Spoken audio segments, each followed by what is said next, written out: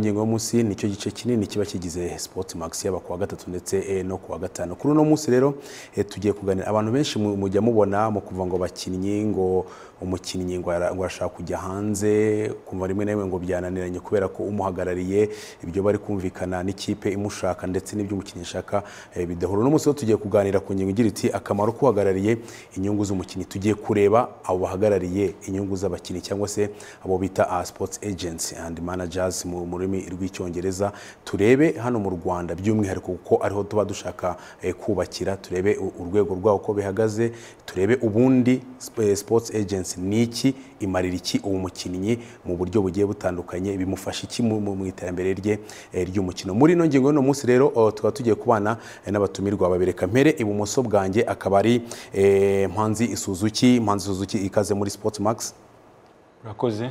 Mm, neza kuntumira. Mu mwaka mushya muherekane kuko ngira ngo duhurira ku kibuga ariko muri studio ngira ngo no kuri kamera muri makumyabiri makumyabiri na kabiri ni bwo tuhahuriye. Twese hamwe. Mm. hanyuma ah, mbere y'uko nakira uwundi manzi suzuki ni muntu ki kugira ngo n'abantu bamenye umuntu uwo tugiye kubana muri muri iki kiganiro ni muntu ki? Eh, ba- banamenye n'icyo we ah, yafasha muri ino ku ngingo irebana n'iki kintu. Eh, murakoze. Eh, nitwa mpanzi suzuki. Eh, ndi umu agent sportif sport agent cyangwa se umuhuza w'abakinnyi n'amakipe eh, by'umupira w'amaguru. Eh, by'umwihariko nkaba ndi umujyanama w'amategeko ya siporo mu muryango wa siporo ijabo ryawe rwanda youth football forum. Ihuriro ry'amarerero mu rwanda yigisha umupira w'amaguru mu bana b'imyaka kuva ku myaka itandatu kugera ku myaka cumi n'irindwi. Hanyuma iyo sports agent mu byo uvuze uyimazemo igihe kingana iki? Eh, ni kuva muri bibiri na cumi eh, dukora ari inshuro ya kabiri ferwafa ishyirahamwe ry'umupira w'amaguru rifatanyije na fifa rikoresha test icyo bita fifa players agent test. Eh, ni bibiri na cumi rikaba renouvelable basubiramo imyaka itanu. Ubu turi muri deuxième eh, saison. Ni federation ibishinzwe igomba gutanga uburenganzira mbese nk'ishyirahamwe ry'umupira w'amaguru. Instance technique. Hanyuma ah, si suzuki mpanzi gusa tugiye kuba tubana muri kiganiro iburyo bwanjye reka mpe ikaze muhombo jean pierre muhombo ikaze muri max. Eh, murakoze cyane david. Mm, ikaze mu rwanda kandi. Murakoze. Mm, nk'uko nari mbibajije eh, suzuki nawe wa- wavuga cyane cyane nko ku birebana profile ya kugira ngo abantu bamenye ese umuntu tugiye kuganira kuri ino ngingo irebana no guhagarara inyungu z'abakinnyi ni muntu ki? nk'uko bivuze nitwa muhombo jean pierre nkaba ndi umucuruzi eh, nkaba ndi businessman ariko nkaba ndi agent de joueur Eh, nkaba narabonye lisansi eh, mu burenganzira ya fifa muri mu bihumbi bibiri na cumi. Ndumva ndi umuaje wa mbere federasiyo yagize y'u rwanda. Icyo gihe ndumva mugenzi wanjye yabivuze hari ibizami byazaga bivuye muri fifa cumi na bitanu hakaza bitanu bya federasiyo y'u rwanda. Epi hakaba n'andi makondisiyo kugira ngo ube agent, de joueur hari amakondisiyo basabaga faut kugira amaassurance protection juridique. Hari hari ibintu byinshi bagiye basaba ku buryo hari bamwe bagenzi banjye uh, bagiye batsinda ibyo bizamini bashobore kuzuza ibyo ngibyo kuko hari ibintu basabaga kugira ngo bibahe izo lisansi kuva icyo gihe eh, ndumva nakomeje kubijyamo ko mbikunda ariko nkaba mfite akandi kazi kanunze nize ibintu bya management eh, mu mashuri eh, muri université ko nize commerce comptabilité muri secondaire. Ubwo kubera gukunda umupira ko kuva mu bibiri na kane nakurikiranye ikipe nationale y'u rwanda ndi mu bubirigi tujyana muri tunisia. Hari ibyo nabafashaga eh, mu bubirigi muri icyo gihe ko abakinnyi b'abanyarwanda bakinagayo. Kuva icyo gihe ngira urwo rukundo rwo kugira ngo ndebe niba hari icyo nafasha mu bakinnyi cyangwa hari icyo nanjye natanga umusaruro ku byerekeranye n'umupira w'amaguru mu rwanda. Hanyuma kugira ngo twinjire muri ino ngingo neza noneho uh, wat- wa- wa- watangira dusobanura ubundi bi- bi- bivuze iki? Ubundi sport agency ndumva yari yabivuze ni umwunganizi. Ndumva mu kinyarwanda avuga ko ari umwunganizi wo hagati y'umukinnyi n'ikipe cyangwa ikipe n'umukinnyi. Ni ukuvuga aba ari intermediaire uri hagati. Icyo gihe hagati y'ikipe niba ari umukinnyi ukuntu yabibabwiye ku buryo uba umwunganizi we kugira ngo mu masezerano bazakora uzabe uri hagati yabo. Ubwo ni hagati y'ikipe n'umu- n'umukinnyi cyangwa n'umukinnyi n'ikipe kuko ikipe yagira umuhaja epi n'umukinnyi yagira umuhaja kugira ngo kontara zabo zisobanuke. Ariko hari n'ikindi yuko umwana utari wageze imyaka y'u- y'ubukure cyangwa hari igihe ahagararirwa n'ababyeyi be ariko hakazamo un avoka w'amategeko ugomba kubibafashamo. Hanyuma ah, suzuki reka noneho twinjire kuri kuri ino ngingo n'ubundi nk'uko twahise akamaro k'uhagarariye eh, inyungu z'umukinnyi. Sports agent aba avuze iki? Aba ari iki kuri uwo mukinnyi abahagarariye? Eh, murakoze. Sports agent ku mukinnyi w'umupira w'amaguru ni umujyanama. Mbese we aba ahagarariye eh, gahunda ze n'akazaza akazaza ke avenir talents yakoze detection akamufasha gukora eh, ayo masezerano n'ikipe iri afiliye cyangwa se iyo ekipe ari icyo bita transfer akurikije sitatu ye eh, kugira ngo nawe akomeze agire ubuzima bwe bwite no muri mu rwego rwa rwa professionnel by'umwuga abigira umwuga mbese. Hanyuma ah, jean pierre iyo ah, iyo ugiye kuba ugiye gufata nk'uwo mukinnyi kugira ngo umubere eh, uwo mu aja ibintu ibintu umu- umuberaho umu aja cyangwa se umufasha gukurikirana ni ibihe muri rusange? Ni ukuvuga eh, cyane cyane eh, mu muco wa kinyarwanda niyo mpamvu ubona bafite ibibazo ntabwo babyumva kimwe. Ubundi umuganga umurwayi ni umushaka. Ariko mu rwanda muri iyi sisiteme ya football usanga yuko ari abo baje- baje bitabaje ko ngewe ndavuga abemewe nibo nzi bajya gushaka abo bakinnyi. Ubundi umukinnyi cyangwa umubyeyi afite umwana mwiza amushakira enaja kugira ngo amurengere. Ni ukuvuga iyo mumaze kubona n'uwo cyangwa we ari umukinnyi mwiza uragenda ukamwegera ukavuga eh, nkeneye ko eh, nkubera muwaja nkakufasha ariko icyo gihe hari kontara mukorana. Izo kontara eh, fifa yari yarazishyizeho kuko habayeho uburiganya bwinshi cyane ku buryo umuntu yafataga umukinnyi cyangwa umwana akamugira nk'igikoresho cye. Ni ukuvuga ari kontara bita kontara de mediation kontara de mediation ubundi ntagomba kurenza imyaka ibiri. Ni ukuvuga murayisinya mukayumvikana icyo gihe nta kintu aguha nawe nta kintu umuha. Ni ukuvuga umusaruro azatanga cyangwa hari icyo yamuvanyemo ni ho wishyura nawe akabona ikimutunga. Ni ukuvuga kugira ngo iyo utangiye kumushakira hatagira undi muntu umusinyisha iyo kontara ariko rero cyane cyane ntabwo ari uko bigenda kuko batazi mu mategeko usanga umwana cyangwa umukinnyi yagiye gusinyana n'abantu babiri bigatuma bijya mu manza eh, bigatera ibyo bibazo. Hanyuma ah, suzuki. Ni iki kuko ah, jean pierre yaravuze eh, akomeje kukanavuga ngo abiyita. Ni iki bundi ni qualification zo kuba sports agent umuntu. Ni ukuvuga ngo muri disipurine zigiye zitandukanye umupira w'amaguru eh, mu mikino y'intoki itandukanye mu mikino yindi yose uko umuaterete havuye tuvuga umuaterete cyangwa se umukinnyi tuba tuvuga disipurine zitandukanye. Ubundi qualifications biba bisaba iki kugira ngo uwo muntu koko yemerwe kuba uwo sports agent? Nk'ubwo eh, nk'uko mugenzi wanjye yabivuze jean pierre abiyita agent de joueur aribo i burayi babita agent de joueur ariko hari abakorana de joueur scout. Scout trader ni ukuvuga abakorana ni komisiyoneri mbese. Nubwo iryo jambo benshi badakunda kuko uba ubonye we agent de joueur wamufashije mbese ni bayita pourcentage ni commission nyuma yo gukora transaction. Eh, ni federation cyangwa se association nationale. Nk'ubu mu rwanda ni ferwafa. Ishyirahamwe ry'umupira w'amaguru ariyo instance technique y'umupira w'amaguru mu rwanda itanga ubwo burenganzira bwo kuba agent de joueur. Eh, ira- irakonfirma ikongera ikarekonfirma igasubiramo ibyo nini ariko nk'uko monsieur jean pierre yabivuze mugenzi wanjye jean pierre club cyangwa se eh, centre. Nk'ubu mu ihuriro ry'amacentre. Amarero y'ijambo ry'abanyarwanda ryemerewe kugira mu agent de joueur ushinzwe gukora amasezerano. Mbese ntabwo ari umu agent de joueur wese yemerewe gukorera umukinnyi amasezerano na club iri affilié. Ari centre club formateur kugira ngo ayikorane na club. Nicyo gituma haza ibintu bya conflit mbese ni imirwano y'inyungu. Eh, sanga oh, secrétaire général team manager cyangwa se umu vice perezida mbese muri komite nyobozi y'ikipe hari nk'aba batatu na coach mbese. Kenshi ni abatoza. Abatoza bavuye hanze ni umukoreshwa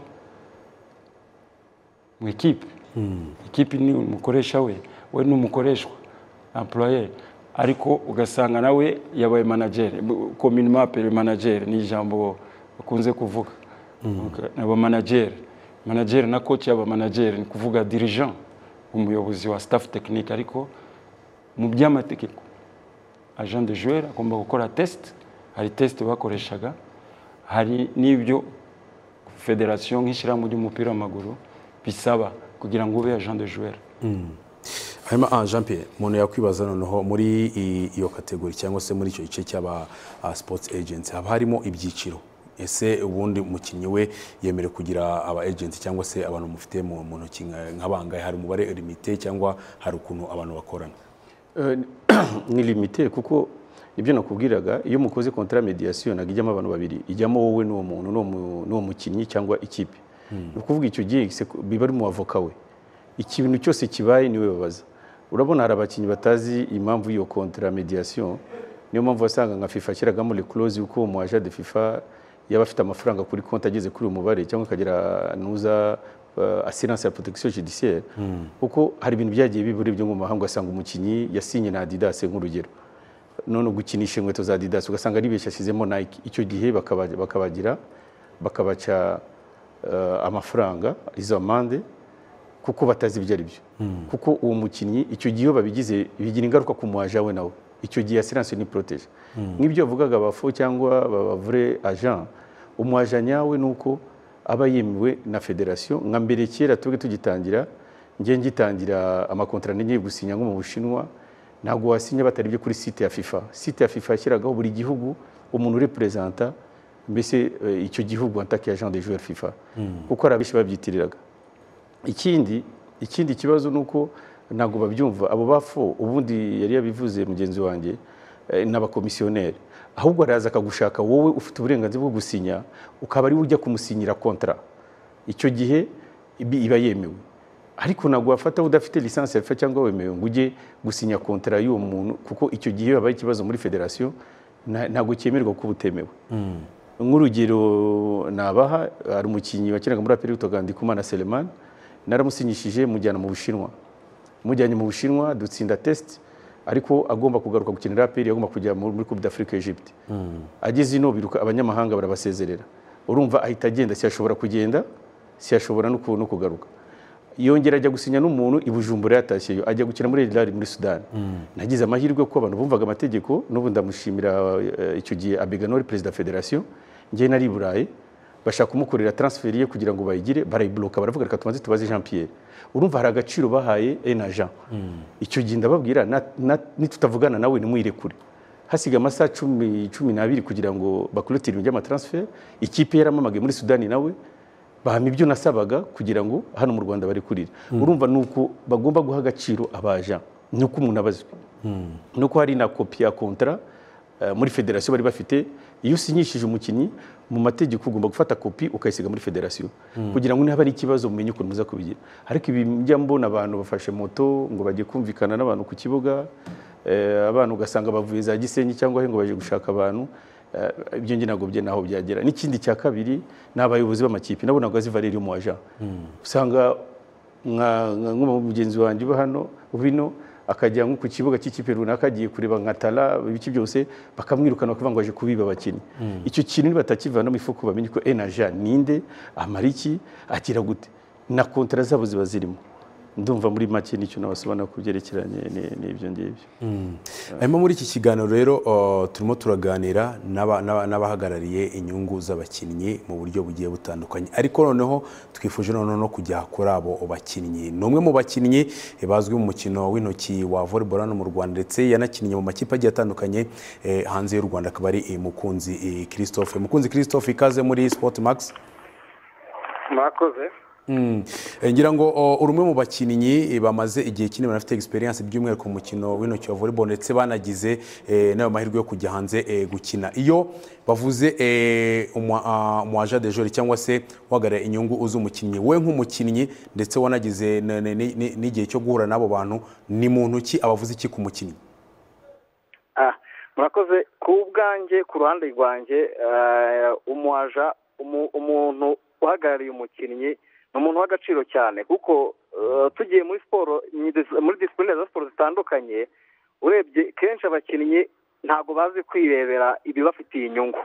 Kenshi abakinnyi cyane cyane wenda mpereye nko muri afurika nahereye n'iwacu usanga umukinnyi wenda arakura yazamuka gatoya ikipe yamurekirita ya- ikipe yamushaka. Akagenda akivugira amafaranga gusa. Kandi buriya muri make hari ibintu tuba twirengagije. Ntabwo tuba twashyizemo ibintu byinshi umuhaja uba ufitiye ubushobozi we abazi ibyo ndabivuga kuko nanjye nabaye umukinnyi nakinnye hanze ariko hanze nakinnye nari mfite umuhaja. Ariko ubwa mbere nabanje gukina hanze muri za Algeria na za ah, um, muri Algeria no muri no muri Libya nta muhaja nagiraga. Ariko ubwo nagiye gukina muri Turukiya nabonye umu agent njyewe ku bwanjye yaramfashaga cyane kuko yaragendaga we akadiringa na ekipe akaba ari we wivugira ibyo we abona bitanga inyungu ku mukinnyi. Abantu benshi banga nkeka yuko abakinnyi twese twajyaga twanga ngo abaja ngo kubera yuko ngo umuaja ngo afata ngo amafaranga ngo ngo percentage runaka kuri kontara y'umukinnyi ngo nta kintu yakoze. Ariko burya umuaja aba yakoze akazi kada- ka- ka- kadasanzwe ko umukinnyi ntabwo abasha kukikorera ku bwanjye ngewe umuhaje wanjye yaramfashaga akankorera byose ubundi akambwira ati itegure gutya na gutya utege indege uze aha n'aha ugende ukine. Amafaranga yabaga yarabirangije kondisiyo z'ubuzima zose yabaga yazirangije n'ikibazo cyose nagiraga. Yari umu- agenti wemewe na- federasiyo interinasiyonari ya volleyball. E, ikibazo cyose nashoboraga kugira cyashoboraga gukemurwa byoroshye cyane kubera ko iyo namubwiraga byose yahitaga birangiza. Ariko mu gihe njya mbibona inaha mu rwanda birahaba kenshi cyane ugasanga umukinnyi agira ibibazo na ekipe we ubwe ntafite ubushobozi bwo kujya kwishakira wenda nk'umunyamategeko. Iyo byageze muri iyo ntera ntafite ubushobozi bwo kujya kwishakira umunyamategeko ngo amufashe gukemura icyo kibazo we. Abenshi babyumva mu mujinya wabo ntibashyiremo inyurabwenge nyinshi akagenda ugasanga akoze amakosa niba ujya ubona abakinnyi ngo banze kujya mu myitozo cyangwa bahagaritse gukina kubera ko ngo ikipe itakoze ibi n'ibi ariko burya iyo ufite umu agenti ni we uhe- uhe- uhereza ni we ufata iyo responsabilite akajya kuvugana na ekipa impamvu wenda niba ari byo itemeye akamenya ikibazo gihari. Ku bwanjye mbona umaje ni umuntu w'agaciro ku mukinnyi. Njye mbona binakwiye cyane yuko mu rwanda twabiha agaciro kuko ndebye wenda muri futuboro njya mbabona baba agenti ariko sinzi niba ntabwo mbona abantu benshi babitabira wenda ngo umuntu abe yajya muri ajansi ya runaka bavuga ati jyewe mbarizwa muri ajansi niba ekipa igushaka koko? Ijye muri iyo ajansi runaka ivuga ati turashaka uriya mukinnyi kubera ko umukinnyi ariho abarizwa. Yewe numva muri njyewe ni umu- na- aba- abagenti ni umuntu w'agaciro cyane dukwiye kubiha intebe mu rwanda iwacu naho muri mukinnyi akajya agira umuntu umurebera inyungu. Kuko ni ubuzima busanzwe n'amakampani akomeye agira abantu ba- ba- ba- bazirebera inyungu. Ndumva rero muri siporo muri iyi minsi ko siporo irimo amafaranga irimo ubushobozi. Buri mukinnyi agakwiye kugira umu agenti akagira ajansi abarizwamo.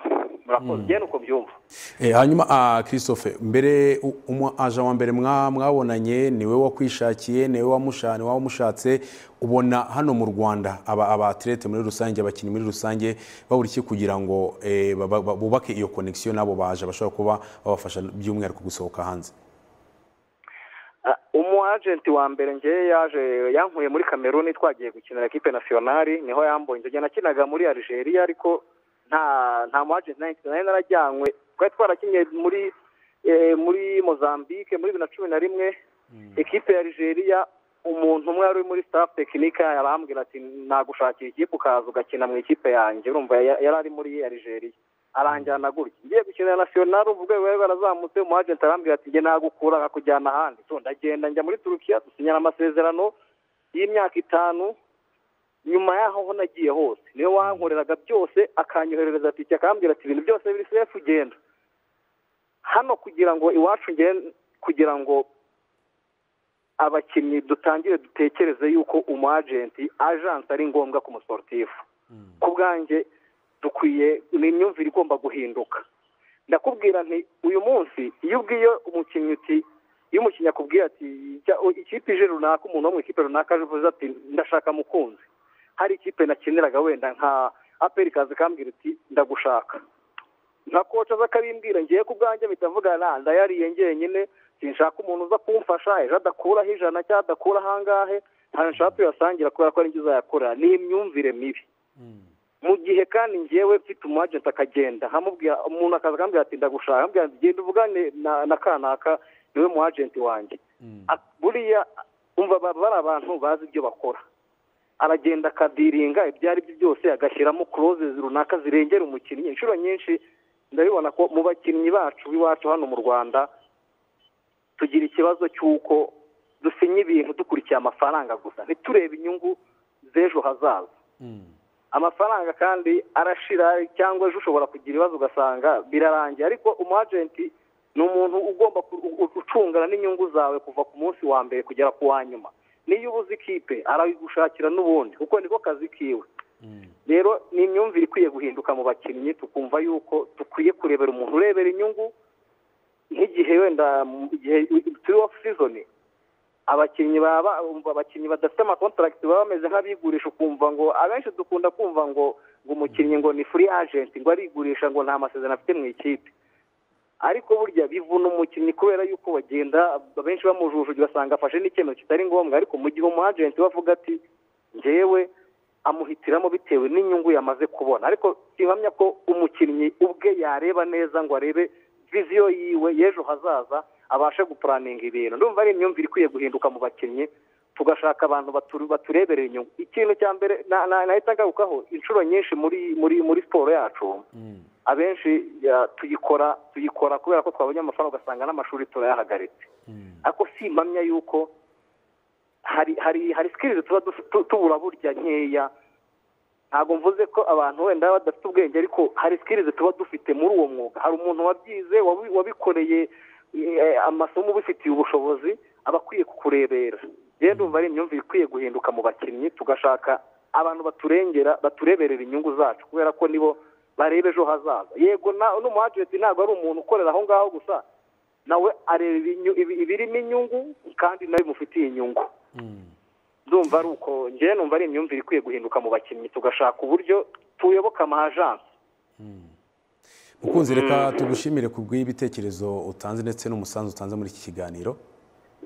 Murakoze cyane. Eh, Suzuki eh, wumvise umwe mu bakinnyi. Nubwo uri baze cyane muri football ariko turi kureba muri rusange agency muri ku bakinnyi bagiye eh, batandukanye. Kimwe mu bibazo agarutseho ni uko abakinnyi hano mu Rwanda umva iyo myumvire yabo itarazamuka. Ariko nanone hakaba ikibazo cy'uko n'abo bantu baba agents hano mu Rwanda badahari bo kugira ngo banigishe banakomveke n'abo bakinnyi.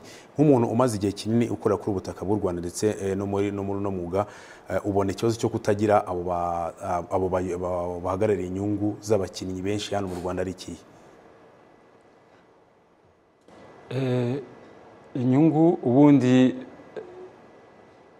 nk'uko federasiyo ari ishyirahamwe ry'umupira w'amaguru ritanga ubwo burenganzira bwo kuba agent de joueur abanyamuryango bayo baryo ari amakipe. Nubwo yigenga yakagombye na yo kubahiriza club affilié. Yaba ya icyiciro cya mbere icyiciro cya kabiri. Mbese n'ama- n'amasantere irerero ryo ryateye imbere. Ihuriro ry'amarerero. Ihuriro dufite turi abanyamategeko babiri. Uwa siporo n'undi wa legal advisor umunyamategeko nyawe. Eh, ayo makipe ya première division na deuxième division akamenya agaciro k'umu agent de joueur akaba amufite.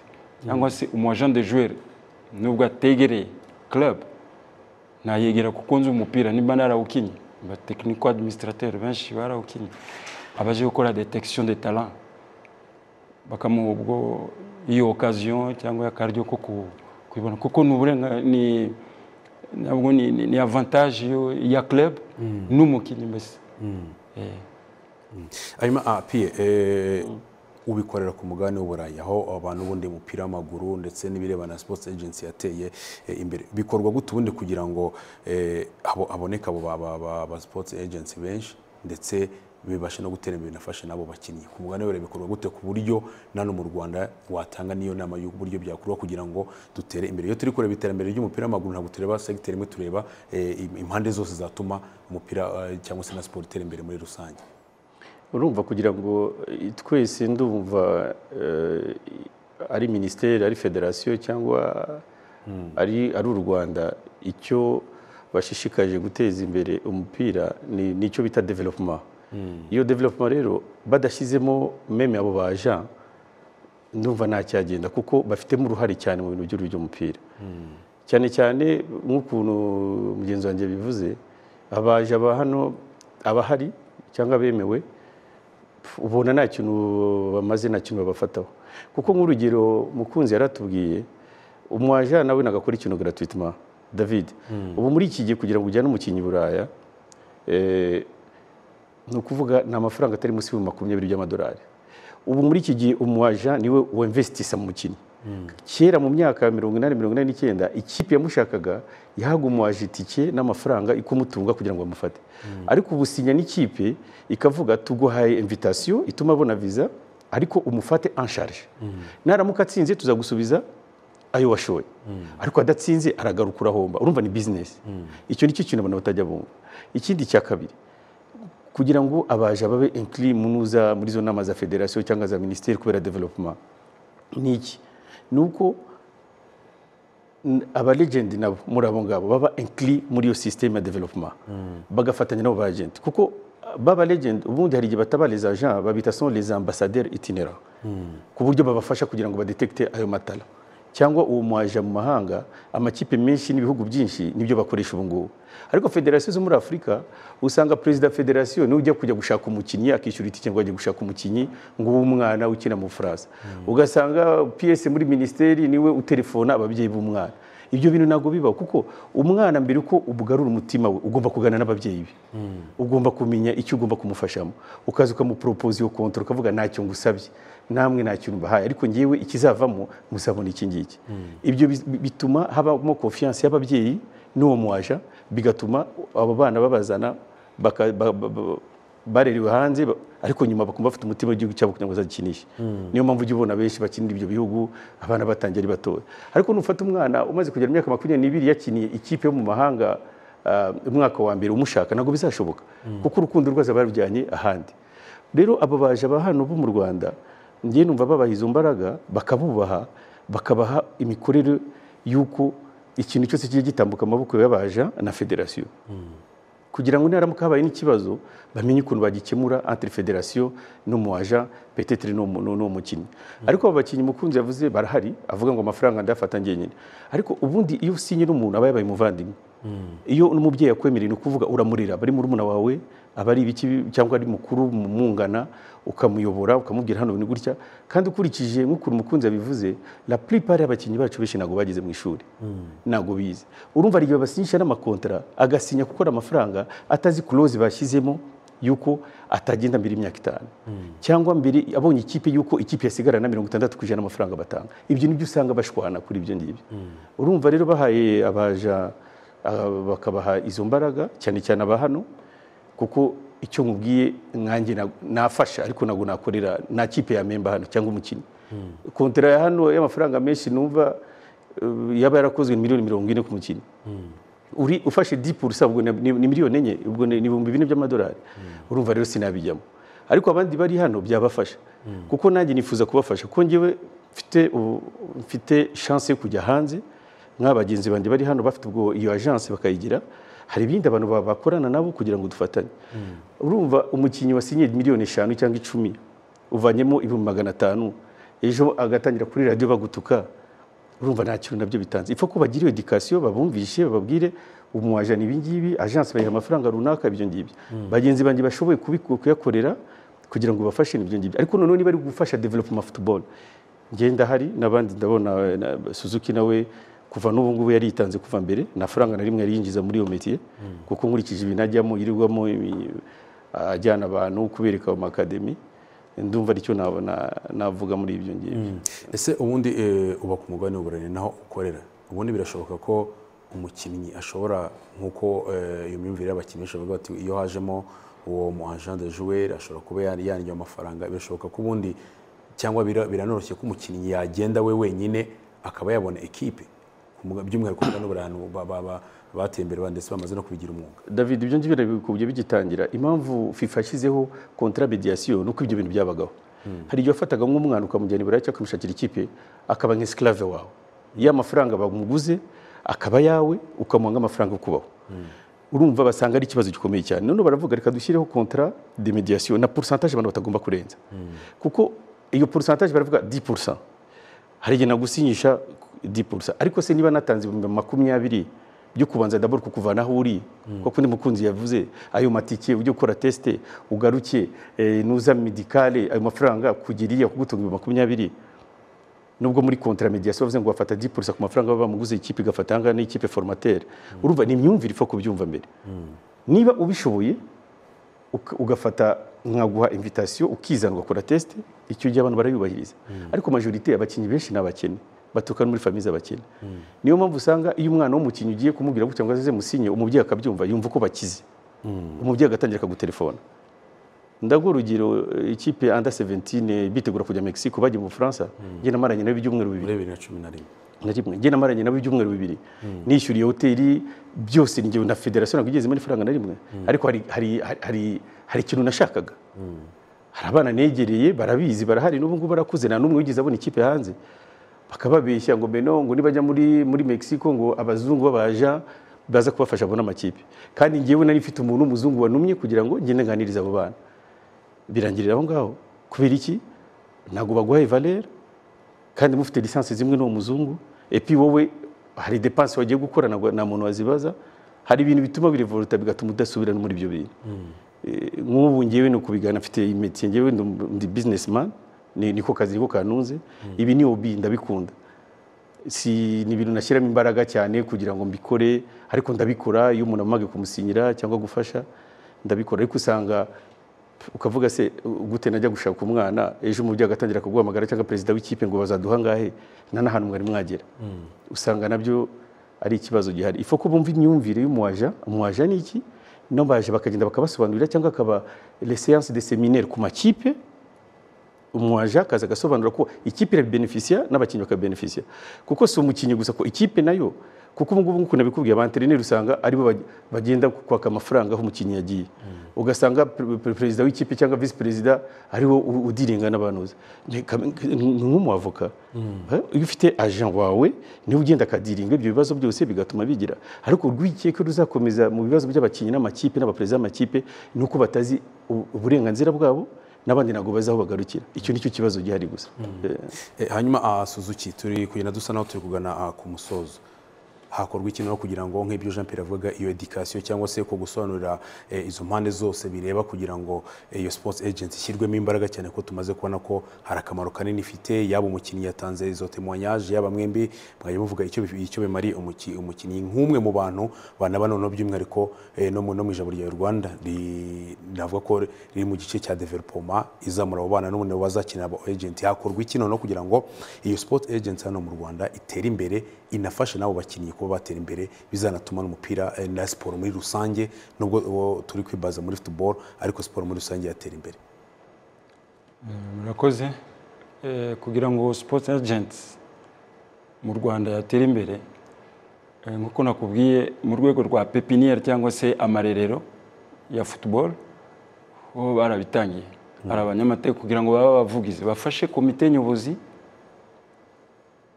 y'ijabo rya rwanda bwana sheya habimana hamdan wakoze komantere mwakoranye ikiganiro ushize cy'amarerero ariko nk'ishyirahamwe ry'umupira w'amaguru nunganire gato monsieur jean pierre mugenzi wanjye umu agent de joueur yitwa na mbere yitwa agent de joueur licencié de la ferwafa muva de la association nationale. Muva ni nk'umufatanyabikorwa wa w'ishyirahamwe ry'umupira w'amaguru. Ni ukuvuga ko amakipe by'umwihariko ntabwo nyanenga cyane. Ko arigenga. Ni club affilié. Ariko n'abanyamuryango b'ishyirahamwe ry'umupira w'amaguru. Donc, umupira uri he? Uri kuri ferwafa. Nk'ishyirahamwe ry'umupira w'amaguru mu rwanda. Rishobore kuduha agaciro. Hari amakomisiyo menshi aba ahari Ah, nk'ubu bari kumbaza nimba irihe komisiyo ishinzwe gukorana na- n'abagent de joueur n'iya competition iri concerne n'iya développement surtout. Ko développement ikorana close na na federation ya football de jeunes. Ijabo rya rwanda. Habe icyitwa komisiyo akanama ka player status donc urwego rw'umukinyi status nk'urwego level. Ko turi turacyari muri amateurisme. Ariko abo bana bavuye muri junior minimum bakomeze umupira wabo bawugire w'umwuga na federasiyo bibonye avantage yayo.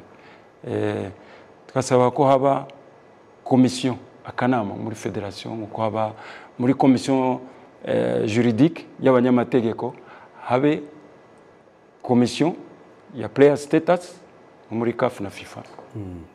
Habe icyo bita system muri iyi minsi nk'uko ni izina gusa ba- bahinduye ariko ubu ni intermédiaire de joueur uva byose ko ari agent de joueur intermédiaire de joueur et club. Players and clubs intermediary. Habe icyitwa système des intermédiaires enregistrement des intermédiaires tugakorana hafi tukuzuzanya n'izo komisiyo ya development na ndetse na competition Oh, ngira ngo rero uh, mwabyumvise ndetse mwanasobanukiye akamaro koko k'abantu bahagarariye abakinnyi. Mwumvise eh, umwe mu bakinnyi babaje guhura n'abangaba ndetse banakoranye banakina amakipe menshi agiye atandukanye. Icyo kugira umu agent byama- byamamare ndetse mwumvise na- n'ababikora noneho nk'umwuga icyo bifasha umukinnyi ndetse eh, ni cyo oh, bya- byafasha ku mukinnyi cyane cyane kuri za kontara kuko rimwe na rimwe tumva umukinnyi mu gutandukana n'ikipe yatandukanye bashwana na yo. Kubera iki? Kubera ko nk'uko Jean Pierre yabigarutseho umukinnyi aba atarabanje kurambura paje zose kugira ngo arebe za close cyangwa se za ngingo ahanini akenshi usanga eh, amakipe. Kuko yo aba afite abo bantu babizobereye hari ingingo bazi ko bacomekamo abakinnyi kuko bazi ko bazisoma birebera ku mafaranga gusa ugasanga izo, ngingo oh, zira- ziraba ziti ubwo rero ku bakinnyi bagiye batandukanye ndetse n'abantu benshi babamo muri siporo mwumvise icyo eh, iki cyiciro cyangwa se ino sports agents imariye abakinnyi muri rusange mu kugira mu iterambere ryabo ndetse no kugira ngo bazagere kare nziza kuko akenshi iyo ugize uwo mujyanama agufasha kubaka izo kontara ndetse yewe anakugira n'inama no mu bindi byose ku buryo n'iherezo ryawe rya kariyeri nibura uzaba ufite. Hari ibyo wibikiye bizaguherekeza eh, ubwo uzaba usoje eh, mu gukina mu mikino igiye itandukanye kuko ntabwo twagiye twagarukiye mu mupira w'amaguru twaganiraga ku basportif cyangwa se ku ba atlete bose eh, muri rusange. Reka rero mfate uno mwanya nshimire abatumirwa. Suzuki reka ngushimire ku mwanya wawe wafashe ndetse n'ibitekerezo watanze. Murakoze Mr. David. Mm. Eh, Jean Pierre reka nawe ngushimire ku mwanya wafashe ndetse n'ibitekerezo watanze muri iki kiganiro. Urakoze david. Ubwo nizere ko ubutaha tuzongera tugasubira imana nibishaka Eh, urakoze cyane.